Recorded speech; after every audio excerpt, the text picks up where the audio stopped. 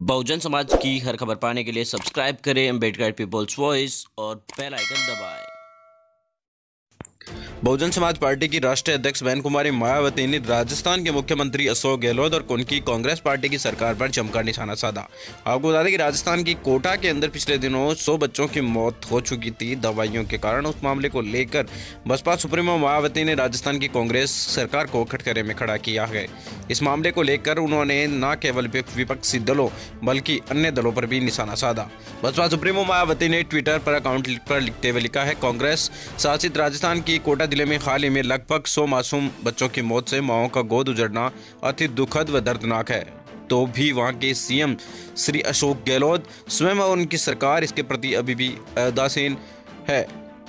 किंतु उससे भी ज़्यादा अति दुखद है कि कांग्रेस पार्टी के शीर्ष नेतृत्व खासकर महिला महासचिव की इस मामले में चुप्पी साधे रखना अच्छा होता कि वह यूपी की तरह उन गरीब पीड़ित माओं से भी जाकर मिलती, जिनकी गोद केवल उनकी पार्टी की सरकार की लापरवाही आदि के कारण उजड़ गए हैं। बसपा सुप्रीमो मायावती ने यहाँ पर चमकर प्रियंका गांधी वोड्रा पर निशाना साधा है। इसके बाद बसपा सुप्रीम मायावती ने लिखा है कि यदि कांग्रेस की महिला महासचिव राजस्थान के कोटा में जाकर मृतक बच्चों की माओ से नहीं मिलती तो यहाँ अभी तक किसी भी मामले में यूपी पीड़ित परिवार से मिलना उनका केवल राजनीतिक स्वार्थ व कोरेट नाटकबाजी ही मानी जाएगी, जिससे यूपी की जनता को सतर्क रहना होगा। APV news bureau report, Lucknow.